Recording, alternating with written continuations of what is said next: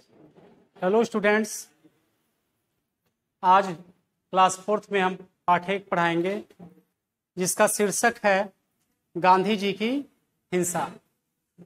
बच्चों आप जानते हैं गा, महात्मा गांधी अहिंसा के पुजारी थे। इनका यह सिद्धांत था कि हमें किसी भी सूरत में किसी को शारीरिक या मानसिक रूप से क्षति नहीं पहुंचाना चाहिए। उसकी भावनाओं को हमें ठेस नहीं पहुंचाना चाहिए। इनका ये सिद्धांत था कि अगर कोई हमारे एक गाल पर एक तमाचा मारता है तो हमें दूसरा गाल भी उसके सामने कर देना चाहिए। इस सिद्धांत के ये आदमी थे। तो बच्चों, इस चैप्टर में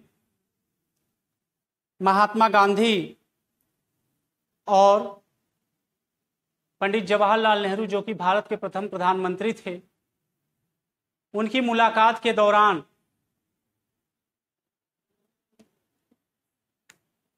एक छोटी सी घटना से ये संबंधित है।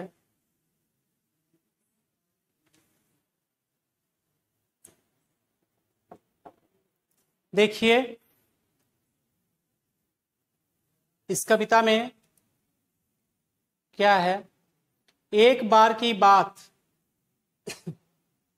एक बार की बात गए जब गांधी के पास जवाहरलाल, घड़ी थी रात की।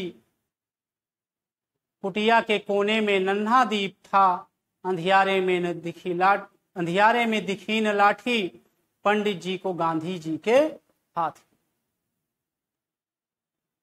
और पास उनके पहुँचे इस त्वरा में, वे बेचारी लाठी से टकरा गए। बहुत नहीं, लेकिन थोड़े लड़खड़ाकर कुछ गुस्से में आए, कुछ घबरा गए। थोड़े कुछ झल्ला कर बोले, आप तो प्रेम अहिंसा के हामी हैं, फिर भला पाँच हाथ का इतना मोटा लठ यह रहता है किस लिए? बगल में डला। देखिए क्या हुआ। कह रहा है कि एक बार की बात है। गांधी जी के पास पंडित जवाहरलाल नेहरू पहुँचे, गए, और वो समय था रात का। रात का समय होने के कारण चारों तरफ़ अंधेरा था, और महात्मा गांधी जी चूँकि सादगी के पुजारी थे, उनका यह सिद्धांत था, सादा जीवन, उच्च विचार। तो उनके कुटिया में एक छोटा सा दीपक जल रहा था, उसकी मध्यम रोशनी थी, और प्रकाश बहुत ज़्यादा नहीं था। किसी वस्तु को क्लियर रूप से देखना असंभव था। मतलब कोई वस्तु स्पष्ट रूप से दिखाई नहीं देती थी। अब देखिए, इतना अंधेरा था कि उस अंधेरे में गांधी जी के हाथ की जो लाठी थी, उसको जवाहरलाल नेहरू नहीं देख पाए। और हुआ क्या? कह रहा है कि पास पहुँचे पास उनके पहुँचे इस त्वरा में। त्वरा में होता जल्दी। तो जब करा कि वो, जो महात्मा गांधी जी के हाथ की जो लाठी थी, उसको, उस पर जवाहरलाल नेहरू ने ध्यान नहीं दिया, वो अंधेरे मुझे दिखाई नहीं दी, और जल्दबाजी में वो उस, उनके पास पहुँचे, और जब वो पहुँचे तो वे बेचारे लाठी से टकरा गए। चूँकि लाठी उनको दिखी नहीं, और लाठी से वो टकरा गए कर बहुत नहीं थो, लेकिन थोड़े लड़खड़ा कर कुछ गुस्से में आए कुछ घबरा गए। कहने का मतलब जब वो टकराए तो वो टक, मतलब टकराना कर टकराने के कारण वो लड़खड़ा गए। यानी बहुत ज़्यादा चोट तो उनको नहीं आई लेकिन कुछ ज़रूर लड़खड़ा गए। और लड़खड़ाने के बाद जब आदमी देखिए उसको चोट लगती है या थोड़ा बहुत लड़खड़ा जाता है या किसी के थ्रू अगर कोई घटना घटती है तो उस व्यक्ति के अंदर तुरंत क्रोध आता है। अपने से कोई घटना घटती तब नहीं आता, लेकिन अगर किसी से फंस करके वो गिर जाए या किसी के कारण उसको चोट लग जाए तो वो क्रोध में आ जाता है।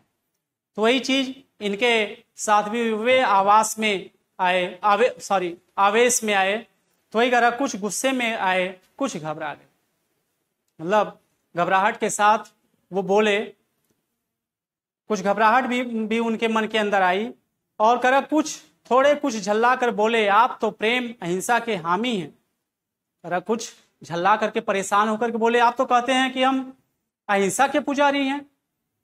तो आपको ये लठ लेने, लेके चलने की क्या ज़रूरत? लाठी आपके हाथ में किस लिए है जब आप कहते हैं हम अहिंसा के पुजारी हैं? तो एक फिर भला पाँच हाथ का इतना मोटा मोटा लठ यह रहता है किस लिए?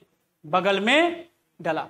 करा कि थोड़े कुछ झल्ला कर झल्ला कर माने नाराज़ होकर के वो बोले कि आप तो कहते हैं कि हम प्रेम अहिंसा के, सत्य अहिंसा और प्रेम के पुजारी हैं, फिर भी आप इतना मोटा लठ लिए, क्यों फिरते हैं? इसका क्या कारण है?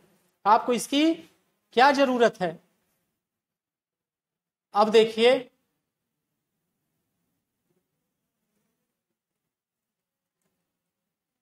अब गांधी जी उनकी बात का कितना सादगी के साथ उत्तर देते हैं। गांधी जी मुस्कुरा उठे। इस क्रोध पर बोले, तुम ही बताओ, तुमसे उधमी लड़कों की क्या आसपास मेरे कमी? उन्हें ठीक रख सकूँ इसी के ध्यान से। इसी के ध्यान से रखता हूँ मैं लंबी मोटी यह छड़ी सुनकर हंसे जवाहर बापू भी हंसे। दमक उठी दोनों की निर्मल हँसी से अंधकार से भी भरी रात की वह तो गांधी जी तुरंत उत्तर दिए कि मुस्कुरा करके बोले कि तुम ही बताओ, तुमसे उधमी उधमी स्वतः शरारती। लड़कों की क्या आसपास मेरे कमी? करा क्या? तुम जैसे शरारती बालकों की कमी है मेरे आसपास? और यदि वो शरारती बालक हैं, अगर हमारे पास ये लठ लाठी नहीं रहेगा उनको कैसे ठीक रख पाऊँगा? उनको कैसे कंट्रोल में रख पाऊँगा? तो कह रहा है, इसी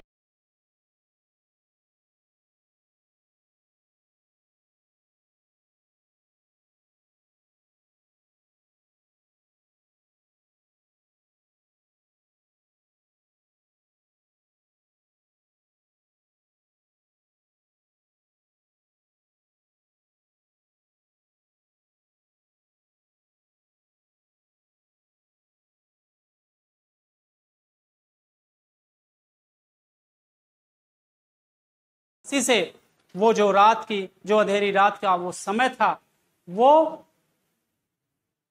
दमक उठा माने चमक उठा अर्थात चारों तरफ़ उन दोनों की दो, उनकी कुटिया में उन दोनों की हँसी बिखर गई। और इसी के साथ ये चैप्टर आपका समाप्त हो रहा है। फिर मिलेंगे। थैंक्स।